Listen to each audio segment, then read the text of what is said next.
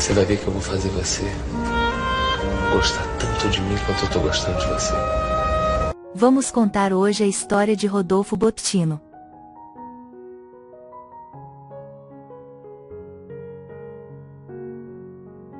Nascido em 11 de fevereiro de 1959 no Rio de Janeiro. Era jovem, bonito e talentoso. Trabalhou em cinema e teatro e também na televisão. Seu primeiro trabalho em novelas foi em Livre para Voar com seu personagem Jaja em 1984. Se tornou bem conhecido na novela Anos Dourados fazendo o papel de Mauro em 1986.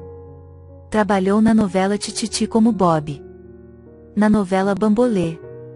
Em Bebê a Bordo. Lua Cheia de Amor. Perigosas Peruas. Em 1997 fez participação no humorístico Sai de Baixo. Seu último papel na televisão foi em Mandrake. E no cinema em 2011 no filme O Homem do Futuro.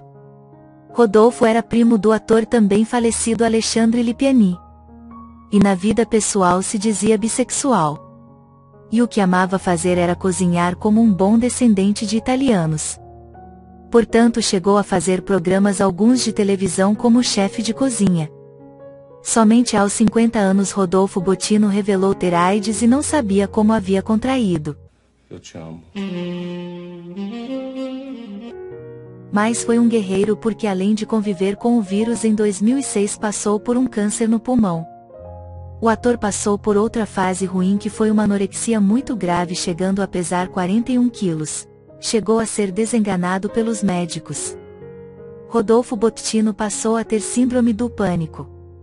Em 2010 passava por uma cirurgia para desentupir uma artéria. Era mais uma prova em sua vida. Uma certa vez, ele disse uma frase que dizia assim: Ninguém falou que viver é fácil. Todo dia pode ter uma porrada. Mas também pode ter uma realização. E a realização de sua vida teve fim em 11 de dezembro de 2011 aos 52 anos quando estava internado em um hospital em Salvador se preparando para uma cirurgia no quadril. Seria mais uma prova de fogo, mais uma embolia pulmonar complicou seu estado vindo ele a falecer. Seu velório ocorreu no cemitério São João Batista em Botafogo e contou com a presença de vários amigos famosos e família. Como disse seu irmão Antônio, Botino morreu como um passarinho, como ele merecia.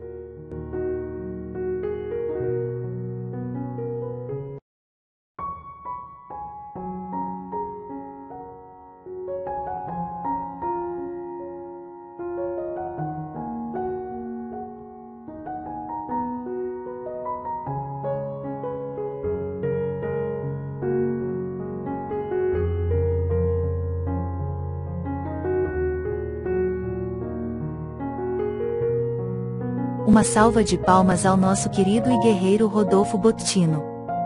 Obrigada por assistir até aqui.